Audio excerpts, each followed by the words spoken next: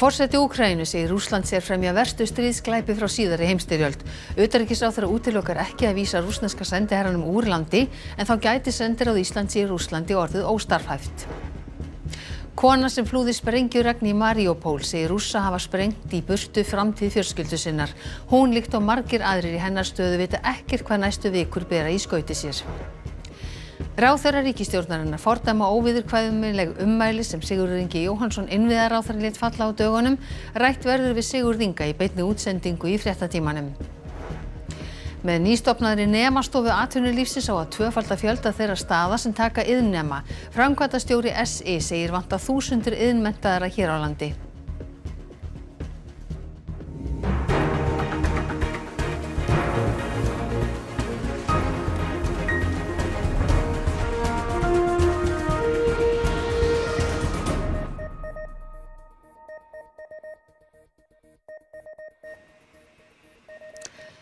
Komið þið sæl. Evrópusambandið boðaði í dag en hertari refsi aðgerði gegn rúsum og fjöldi Evrópuríkja hefur rekið rúsneska diplomata úr landi. Fórseti Úkrænu segir Rúslands herr fremja verstu stríðsglæpi frá síðari heimstyrjöld. First, we will impose an import ban on coal from Russia worth 4 billion euros per year.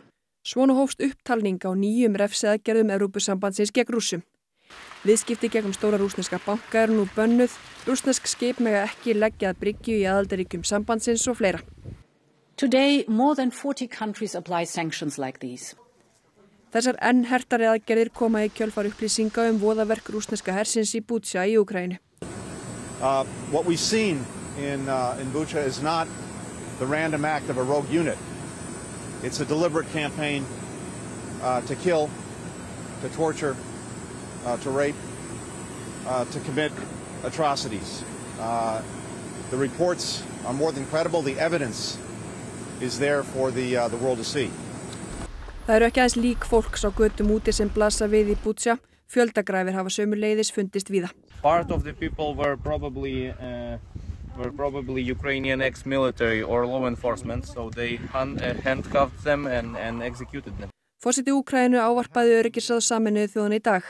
Hann vil að rússar verði reknir úr ráðinu, annars verði réttast að leggja öryggisráði niður.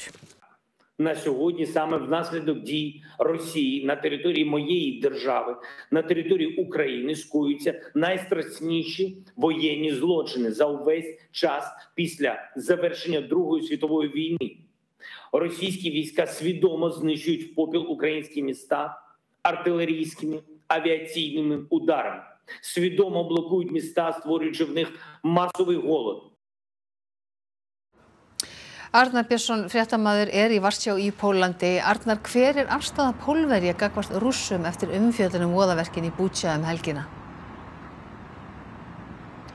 Pólverjar eru grjótharðir í afstöðu sinni gegn rússum og uh, það kannski sannaðist best þegar að Joe Biden, bandarækjafórsti, kom í heimsók uh, til Póllands að um, þá svona e, styrtust stjórnvöld í Pólandi, sérstaklega fórsættisræðurann sem hefur verið mjög harð orður í gard rúsa. Þannig að það er nokkuð ljóst að afstæða Pólverja er skýr en það er raun og veru ekki langt að fara til landamæra Rúslands. En um, evrópskir e, leittóar hafa í dag verið að, á undanfættu dögum verið að senda e, diplomata heim frá löndum sínum. 40 rúsneskir diplomatar voru í gær reknir frá Þýskalandi. 35 kollegar þeirra voru sendir heim frá Fraklandi í gær. Og í dag bættust fleiri brottreknir rúsneskir diplomatar og sendir aðstæðarsmenn í hópin eftir ákvarðanir stjórnvalda ímissa Evrópulanda. Mia istruzione il segretario generale del Ministero degli Affari Esteri, l'ambasciatore Ettore Sequi, ha convocato questa mattina alla Farnesina l'ambasciatore della Federazione Russa in Italia, Sergei Razov, per notificargli la decisione del governo italiano di espellere 30 diplomatici russi in servizio presso l'ambasciata in quanto persone non grate. Idag har också UD beslutat om att utvisa tre ryska diplomater som inte arbetar i Sverige i enlighet med Wienkonventionen om diplomatiska förbindelser. Det gør vi, fordi vi er i en, en, en særlig sikkerhedssituation i, i hele Europa, øh, også i, i Danmark. Altså, det, det er sådan, at øh, at vi ikke vil have øh, spionage på, på dansk øh, jord fra, fra efterretningsofficererne, og derfor så bliver de udvist fra Danmark nu, de, de 15 russiske efterretningsofficerer. Ríkisjótt Spánar rak 25 diplomata og starfsmenn sendiráðsins frá landinu í gær en ætlaði að halda sendiherrunum sjálfur. Eh, queremos mantener la figura del embajador aquí y de nuestro embajador en Moscú también, porque no perdemos la esperanza de que la guerra de Putin termine y se vuelva a las vías diplomáticas y al diálogo que son las únicas que ha querido y que ha mantenido siempre abiertas tanto la Unión Europea como nuestros aliados eh, transatlánticos. Utanríkisráðherra segir að huga þurfi að starfsemi sendiráðs Íslands í Rúslandi við slíka ákvarðanatöku. Svo sjáum við ríki sem eru að, að senda fjölda starfsmanna tilbaka. Uh, málið er að hér eru við með örfáa og ef við gerum ráð fyrir því að Rúsland svari í sömu mynd þá eru við með óstarfhæft uh, sendiráð í Moskvu. Við hins vegar, ég útiloka ekkert í þeim efnum og við sjáum að, að ríkin eru að færa sig svona í þessa átt. Arnar því Guðmundur Bergqvist myndatökum aður því hafið fyrst og fremst verið að fylgjast með mótöku flóttamanna í Pólandi og afdrifðum þeirra. En hvernig er umræðan um málefni flóttamanna í landinu? Það er svo merkilegt að eh, upplifa það eftir mörg ár í fréttamösku hvað samstæðan er sterk hér í Pólandi. Það eru allir pólverjar sem við tölum við á, á því að, að það er að taka móti flottafólki frá Úkrænu. Uh, Sveitafélögu í landinu hafa verið mjög öflug. Það vantar kannski aðeins upp á stuðning ríkisvaldins, segja sumir. En þegar maður er í flottamannabúðunum sér maður bæði sorg og gleði og það var átakalegt að hitta konu frá Mariupol sem veit ekki hvað framtíðin ber í sköti sér og hún var mjög sorgmætt þegar við töluðum við hana. there is war in Mariupol. Everything is destroyed. Everything, every every every building. There is no life in Mariupol anymore. Það var ekki fyrir en 20. og annan mars að hún komst í burtu. Hún segir að heimaborg hennar sé rústir einar.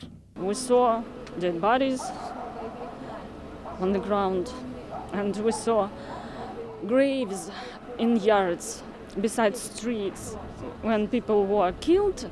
Valentína veit ekki hvað býður hennar og veit reyndar ekki hvert hún á að fara en draumurinn er að komast til Írlands.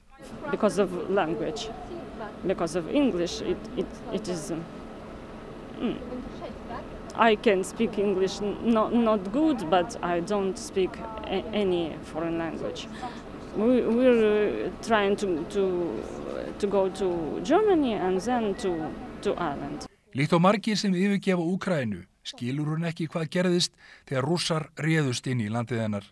We couldn't even imagine that our lives could be destroyed. Our homes, all our lives. I can't talk.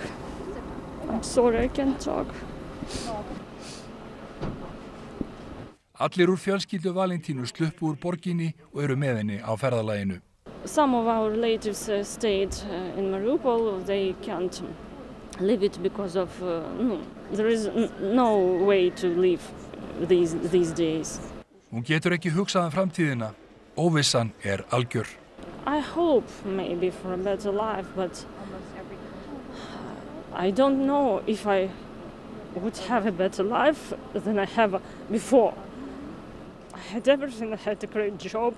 I had a great flat in Mariupol, and my daughter, she had a great school, and and it is everything is destroyed now. And I don't know if we could have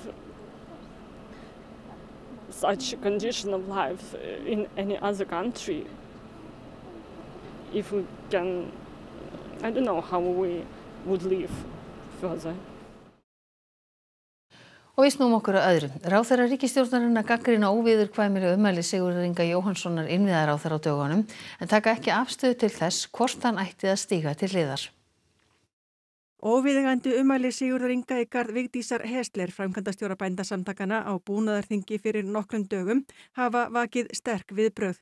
Hver umalinn nákvæmlega voru likur ekki ljóst fyrir en Vigdís sagði sjálfi í færslu á Facebook í gæra að þau hefðu verið særandi og gaf í skinn að þau tengdust húðlit hennar eða kyni. Færsluna skrifaði Vigdís eftir að aðstóðumæður Sigurður Inga vísaði umalinum á bög í fjölmiðlum. Sigurður Ingi baðast síðar afsökunar. Getur þú sagt mér nánar uh, hver, hver þessi umali voru? Nei, ég mun ekki tjá mig frekar, vísa bara yfirlýsinguna sem ég gaf frá mér gerð. En voru þessi, myndist þessi ummæli að kynþætti eða litarhætti konunar? Ég mun ekki tjá mig frekar, vísa bara í yfirlýsinguna sem ég gaf í gerð. Takk fyrir. En, en segðu mér, hefur eitthvað íhuga stöðu þína sem ráðherra? Eins og ég sagði, ég vísa í yfirlýsinguna sem ég gaf í gerð og tjá mig ekki frekar. Ungliða reyfingar samfylkingarinnar og viðreysnar hafa krafist þess að ráþeira segið af sér. Þeir ráþeira ríkistjórnarinnar sem fréttastofa rætti við í dag sögðu það undir honum sjálfum komið. Það er alfarið mál þess sem á í hlut hverju sinni að leggja mat á það og ég ætla ekki að fara að leggja neitt á mig til þess að hjálpa til það. En skilur það ákall sem hefur heyrst að já, hann segja af sér? Já, ég skil það ákall að ráþeirar eiga að gæta þess að rýra ekki virðingu síns embættis með frangöngu sinni bæði innan þings og utan. Myndir þú íhuga stöðu þína? Ég held að það sé mjög erfitt að tala í vittingingarhætti um svona mál. Öll fordæmdu þau umælinn. Þegar kemur að, að óvíðkvæmilegum umælum að þá það þarf ekki að hafa stóra orðum þau. En verður mann ekki að axla ábyrð á sínum orðum og gjörðum? Það verður hver og einn auðvitað að gera það. Hvað finnst þér um þessu umæli? Ég ætla ekki að tjá mig um það. Þau eru alvarleg. En ég meina, finnst þér honum vera stætt að sitja áfram sem ráðherra? Hann er búin að beðast afsökunar. Það skiptir miklu máli að segja það hátt og skýrt uh, fyrir hvaða gildi almennt við stöndum og, og hérna uh, í hvers konar samfélagi við viljum búa og, og stuðla að. Hann verður að svara fyrir það og, og hérna setja það í einhvert samhengi og hvernig hann sér fyrir sér að, að bæta úr því eða, eða hvað. Þá á í raunin ekki að þurfa að koma til þess að stjórnmálumæður standi í þeirri stöðu að þurfa að byggjast afsökunar á einhver svona vegna þess að stjórnmálumæðurinn á ekki að segja svona.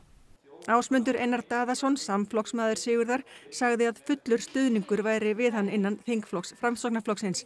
Lilja Dögg Alfriðsdóttir tók í sama strengi í skriflegu svari til frettastofu. Mér finnst nú Sigur Ingi hafa uh, bara svarað því að hann, hann sér eftir þessu og, og, uh, og skýrir það vel út og og þetta hefur verið rætt í okkar þingflokki og, og, og, og fullu stöðningu við hann. Ekki hefur náðust í Vigdísi Hesler vegna málsins.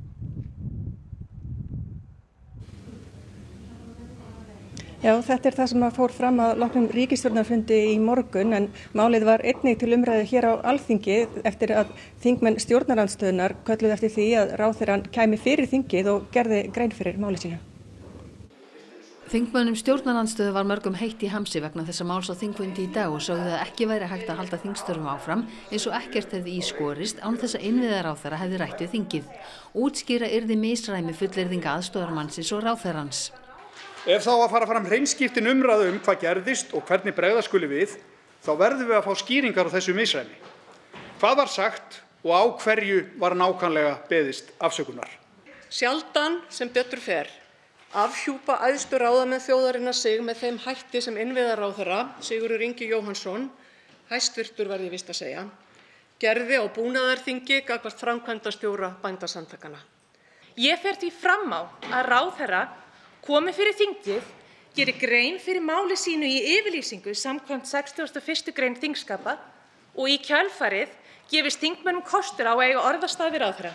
Fjölmarki þingmenn stjórnarandstöðu töluðu á sömu nótum, kölluðu eftir nervuru innviðar á þeirra sem á að halda ræðu sína í kvöld í umræðum fjármála áallun stjórnvalda. Fjármálar á þeirra tók einn stjórnarliða til máls. Ef menn eru að reyna að gera sér eitthvað leika því að fá ykkur á stjórnarliðinu hér til þess að verja orð háttvis ráðherra og skapa þannig einhvern anstæðing, þá held ég að það sé hægt að afgreða það í eitt skipti fyrir öll. Orðin eru að sjálfsögðu óverjandi og ráðherrann hefur sjálfur lýst í yfir að hann ætli ekki að reyna að verja þau. Já og hann er hingað komin til okkar Sigur Ingi Jóhansson. Já Sigur Ingi, hvað var það í raun og veru það sem þú sagðir? Já það er þannig að á fymtaskvöldi síðasta þá var svona búnaðþingsbóð, mikil söngur, gleði, mikil skemmtun, svona hætt okkar framsóknumanna og bænda og þegar nokkuð var liðið á samkomuna þá komu starfsmenn bændasamtakana til minn og vildu að ég tæki þátt í myndatöku þar sem að fólkst í því að lifta frangotastjóra bændasamtakana einhvers konar plonka. Mér fannst það ekki viðegandi, alls ekki við þessar aðstæður eða tíma og létt þá falla orð sem að ég sé eftir og hef, hef beðist afsökunar á og skil vel upplifun Vigdísar og því reyndi ég að, að hafa samband við hana strax daginn eftir og reyndar um helgina í gegnum formann bændasamtakana þar sem að ég vildi gefa henni svirum. En hver voru orðin?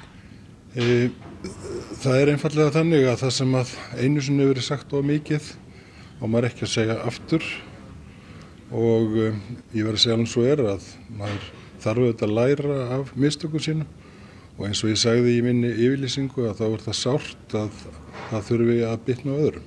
En, en stýrist þessi umæli um húðleitt hennar? Eins og ég sagði, það sem að einu sinni verið sagt og mikið vil ég ekki segja aftur og ítrekka það sem að ég hef sagt, ég hef beðist afsökunar bæði ofnbærlega og hér nú og reynda að beðja viðkomandi afsökunar og verð auðvitað tilbúin til þess og ég vona að satt best að segja, ég fái takkifæri til þess að hitta Vigdísi og setjast og fara yfir málið. En finnst þér þetta ásættanlega framkoma af hálfu ráþæra ríkstjórnarinnar? Já, það er ekki, er ekki af öðru en, en sagt, þess vegna er ég auðvitað byggðast afsökunar á því að þetta er hérna ámar ekki láta út úr sér þó maður sé pyrraður og það sé komið langt fram í einhvern glæskap. Af hverju gerður þetta? Já, eins og ég listi og sagði áðan að, að þá var kannski komið langt inn í samkvæmið og ítrekkað reynd að fá mig til að gera eitthvað sem að ég vildi ekki taka þátt að því mér fannst það óviðigandi og misti þessu orð út um mér sem að ég sé mikið eftir. Eh, þingið hefur kallað eftir því að þú gerir grein fyrir máliðinni samkvæmt 61. grein. Eh, Myndu gera það? Ég sé svo sem ekki tilefnum til þess nema þingið kallið eftir því með sérstökum hætti og farið yfir það en, en ég er auðvitað að gera það hér og hef gert það í ofnbæri yfirlýsingu og vona að það hérna, skýri málið. Uh, já, nú verðist sem að aðstofakunna þín hafi verið uppvísið því að fara með ósatt mál í upphafi þessa máls. Verða verð eitthvað afleiðingar fyrir hana? Nei, ég held að það sé nú reyndar ekki þannig. Þetta var hennar upplifun. Hún var ekki við hliðin á mér allan tíman. Þetta tók nokkra mínundur og það var kannski pyrringurinn og þegar hún stýgur inn að þá, að þá er þetta upplifun hennar, það sem hún heyrir. Uh, já, maður finnur að, að ráþæra ríkistjóðarinnar og, stjórnanliðar er ekkert alveg beinleginir svona, já, hópast til þess að stýðja við þér í þessu. Uh, upplifuru að þú hafið tröst? Já, ég ger það. Og þú ætlar ekki að íhuga að stíga til hliðar? Nei, ég hef ekki íhugað það að mér finnst ekki vera tilefni til þess. Uh, aðeins aftur að þessum ummælum, já, er ekki til þess að bara í raun og veru axla ábyrð á þeim verðum við ekki að fá að vita hver þessi umhverfi eru svo að við getum tekið afstöðu til þeirra? Eins og ég segi það sem hefur einu sinni sagt of mikið ámar ekki að segja til svar Takk fyrir þetta Sigurður Ingi og þá segjum við þessu lokið þíðan frá Alþingi. Takk fyrir það, Alma Ómarsdóttir og umræða um þetta mál heldur áfram í Karslausi kvöldsins ekki rétt Sigriði Dögg Jú, við fáum til okkar þau Lenju Rún Taha Karim, varaþingmann Pírata, sem lísta á Twitter í dag kynþóttafordum sem hún hefur orðið fyrir og Sigmar Guðmundsson, þingmann viðreistnar sem kalla var eftir því eins og að fara yfir hérna í frettarum og undan, á alþingi í dag að, að Sigurður Ingi kæmi þangað og rætti máli þar. Svo heyrum við í sjálfræðingi sem veitir fóreldum ráðum hvernig ræðam á við börnum stríð og loksræðir Guðrún Sólei við listamenn og rítöfunda sem bræða saman listformin sín á gerðasamni. Takk fyrir það Sigriður Dögg Auðinsdóttur. Og að öðru. Með nýstofnaðri nemastofu atvinnulífsins á að tvöfalda fjölda þeirra fyrirtækja og yðinmeistara sem taka til sín nema. Framkvæmta stjóra samtaka yðinæðris telst til að hér á landi vanti þúsundur yðinmentaðara. Með nemastofu atvinnulífsins á að einfalda og bæta aðgengi yðnema að starfsnámi. Með henni verður leitin að vinnustad til að læra við færið úr höndum yðnema. Þau þurfa þá ekki lengur að bera ábyrð á því að komast á samning. Heldur er það skólinn, skólanir og þá nemastofa sem að tengi saman nefndurna og svo meistarana. Við höfum kannski ekki tölur um það en við vitum að það vantar sennilega þúsundur til starfa og, og í rauninni er Íslanda eftirbátur annara landa þegar að kemur að hlutfalli þeirra sem eru innmentaður á vinnumarkaði. Auka á sveigjanleika. Hægt verður að laga námstíma að færni nema og skipta náminu á milli staða. Fjölga á fyrirtækjum og yðinmeisturum sem taka yðnema og hvetja þau til að skilgreina varanlega nemapláss í rekstrinum. Þar annar frambóð nú ekki eftirspurn og hætta á að nemar flosni upp úr námi ef þeir komast ekki strax á samning. BL er eitt þryggja fyrirtækja sem fekk viðurkenningu fyrir að standa vel að námi á vinnustaf. Þar eru alla jafna 11 við nám. Gætum örgulega tekið 100 ef við ættum að svara öllum umsóknum sem kemur til okkar. 347 staðir og meistarar eru nú á skrá yfir staði sem taka á móti yðnemum. En við erum að setja okkur markmið með hvað við ætlum að fjölka mikið og við viljum fjölka um að, að minnstakosti 100% á þessu ári. Þá að veðri. Áfram verður kallt á landinu í allt hvassir norðanátt og snjóa getur duglega norðaustanlands fram á nótt. Á morgun verður létt skíðasunnan og vestan til á landinu en búast má við jæljum á norður og austurlandi. En það er Teodor Freyr Hervarsson veðurfræðingur sem fyrir nánari fyrir veðurhorfur að loknum íþróttum sem Kristjana Arnarsdóttir sérum í kvöld. Kvennalandsliðið í fótbolta er við æfingar í Belgrad í Serbíu en þar mætir Ísland Hvítarúslandi í undankefni HM 2023 á fymtudag. Við líst vel á þetta, við erum í góður, góður stöðu. Uppselt er á leik Barcelona og Wolfsburg í meistaradelt hvenna í fótbolta sem framför á Camp Nou síðar í apríl. Börsungar settu áhöröndamett á sama velli í síðustu viku. Og kilvingurinn Tiger Woods verður öllum líkindum á meðalkeppenda á Masters-mótin í golfi sem hefst á fymtudag. Þá ætlum við að rifja upp helstu atriði þessa fréttatíma. Fórseti Úkrænu segir Rúsland sér fremja verstu stríðsklæpi frá síðari heimstyrjöld. Auðarikisráð þeirra útilokar ekki að vísa rúsneska sendiherranum úr landi en þá gæti sendir á Íslands í Rúslandi orðið óstarfhæft. Kona sem flúði sprengjurögn í Mariupól segir rúsa hafa sprengt í burtu framtíð fjölskyldu sinnar. Hún líkt á margir aðrir í hennar stöðu vita ekkir hvað næstu vikur bera í skauti sér. Ráþara ríkistjórnarinnar fordæma óviðurkvæmileg ummæli sem Sigurður Ingi Jóhannsson inna viðar ráþara létt falla á dögunum. Sigurður Ingi vill ekki upplýsa hver ummælin voru. Hann ítrekkar afsökunarbeðinni sína en ætlar ekki að segja af sér. Með nýstofnaðri nemastofu atvinnulífsins á að tvöfalda fjölda þeirra staða sem taka yðnema, framkvæmdastjóri SI segir vanta þúsundur yðnmentaðara hér á landi. Þá er þessum fréttatíma að ljúka. Það er komið að íþróttum, veðri og svo kastlösi. Næstu fréttir verði í sjónvarpinu og útarpinu klukkan 10 í kvöld og nýjustu fréttir má alltaf finna inn á rú.is. En við ætlum að segja þetta gott að sinni. Verið sæl.